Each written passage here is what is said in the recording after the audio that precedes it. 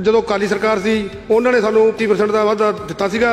ਉਸ ਤੋਂ ਬਾਅਦ ਕਾਂਗਰਸ ਸਰਕਾਰ ਵੀ ਰਹਿ ਗਈ, ਹੁਣ ਆਮ ਆਦਮੀ ਪਾਰਟੀ ਵੀ ਰਹਿ ਗਈ। ਇਹਨਾਂ ਨੇ ਕੋਈ ਸਾਨੂੰ ਲੱਕੜ ਵਾਲੇ ਪੋਤੇ ਦਿੱਤੇ ਜੀ, ਇਹਨਾਂ ਨੂੰ ਕੁਝ ਨਹੀਂ, ਸਾਡਾ ਕੋਈ ਵਧਾਇਆ ਨਾ ਕੋਈ ਕਰੇ ਕੀਤਾ ਜੀ। ਤਾਂ 25% ਭਗਵੰਤ ਮਾਨ ਸਾਹਿਬ ਨੇ ਮਤਲਬ ਕਿ ਸਾਡੇ ਨਾਲ ਮਤਲਬ ਕਿ ਵਾਅਦਾ ਕੀਤਾ ਸੀ। ਉਸ ਵਾਅਦੇ ਤੇ ਮਤਲਬ ਪੂਰਾ ਨਹੀਂ ਉਤਰੇ। ਆਏ ਸੀਜ਼ਨ ਕੋਈ 5-4 ਪੈਸੇ ਵਧਾ ਕੇ ਸਾਨੂੰ ਦੇ ਦਿੰਦੇ ਐ ਤੇ ਇੱਕ ਵਾਰੀ ਸਿਰ ਪਲੋਸ ਕੇ ਤੇ ਭੇਜ ਦਿੰਦੇ ਐ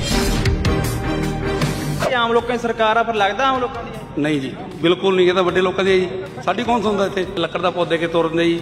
ਉਹ ਇਹੋ ਜਿਹਾ ਪੋਤਾ ਹੀ ਨਾ ਹੱਸੇ ਨਾ ਰੋਏ। ਕੀ ਕਰਾਂਗੇ ਜੀ ਉਹਦਾ ਜੀ? ਪਹਿਲਾਂ ਤਾਂ ਵੋਟ ਕਿਹਨੂੰ ਪਾਈ ਆ ਤੁਸੀਂ? ਵੋਟ ਅਸੀਂ ਭਗਵੰਤ ਮਾਨ ਨੂੰ ਪਾਈਏ ਹਾਂ, ਤੇ ਫਿਰ ਨਾਲ ਖੜੇ ਨੇ ਤੁਹਾਡੇ? ਨਹੀਂ ਕੋਈ ਨਾਲ ਨਹੀਂ ਖੜੇ ਸਾਡੇ। ਜੇ ਨਾਲ ਖੜੇ ਹੁੰਦੇ ਅੱਜ ਆ ਸਮਾਂ ਥੋੜਾ ਨਹੀਂ ਸਾਡੇ ਤੇ। ਸਾਡੇ ਜਿਹੜੇ ਮਜ਼ਦੂਰ ਨੇ ਇਹ 24 24 ਘੰਟੇ ਮੰਡੀਆਂ ਦੇ ਵਿੱਚ ਕੰਮ ਕਰਦੇ ਨੇ। ਸਵੇਰੇ 5 5 ਵਜੇ ਤੋਂ ਲੈ ਕੇ ਰਾਤ ਦੇ 1 2 ਵਜੇ ਤੱਕ ਕੰਮ ਕਰਦੇ ਨੇ। ਪਰ ਜੋ ਮਜ਼ਦੂਰੀਆਂ ਦੇ ਜੈਸੇ ਉਹਦੇ ਮੁਤਾਬਕ ਅਸੀਂ ਇੱਕ ਗੱਲ ਕਰੀਏ ਤਾਂ ਸਾਨੂੰ 100 ਰੁਪਿਆ ਮਸਾ ਪੈਂਦੀ ਸਾਨੂੰ ਦਿਹਾੜੀ। ਜਿਵੇਂ ਇਹ ਕਹਿੰਦੇ ਸੀ ਅਸੀਂ ਆਮ ਲੋਕਾਂ ਦੀ ਸਰਕਾਰ ਆਮ ਲੋਕਾਂ ਸੁਣਾਂਗੇ ਫਿਰ ਤੁਹਾਡੀ ਸੁਣੀ ਨਹੀਂ ਕਿਸੇ ਨਹੀਂ ਜੀ ਸਾਡੀ ਇਹਨਾਂ ਨੇ ਬਾਹ ਨਹੀਂ ਫੜੀ। ਚੰਡੀਗੜ੍ਹ ਵੀ ਜਾ ਜਾ ਕੇ ਉੱਥੇ ਅਸੀਂ ਮੱਥਾ ਖਪਾਈ ਬਹੁਤ ਕੀਤੀ ਹੈ ਵੀ ਸਾਡੀ ਮਜ਼ਦੂਰੀ 'ਚ ਵਾਧਾ ਕੀਤਾ ਜਾਵੇ ਪਰ ਪੰਜਾਬ ਸਰਕਾਰ ਦੇ ਸਿਰ ਦੇ ਉੱਤੇ ਜੂੰ ਨਹੀਂ ਸਰਕਦੀ।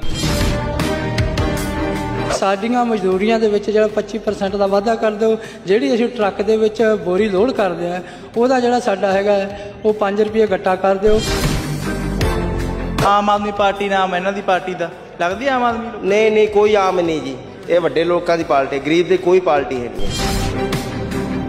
ਮਹਿੰਗਾਈ ਦਿਨੋਂ ਦਿਨ ਵੱਧ ਰਹੀ ਹੈ। ਠੀਕ ਹੈ, ਉਹਦੇ ਮੁਤਾਬਿਕ ਵੀ ਸਾਨੂੰ ਮਤਲਬ ਕਿ 100 150 ਰੁਪਏ ਦੇ ਮਤਲਬ ਕਿ ਦਿਹਾੜੀ ਪ੍ਰਤੀ ਮਤਲਬ ਕਿ ਮਿਲਦਾ ਹੈਗਾ।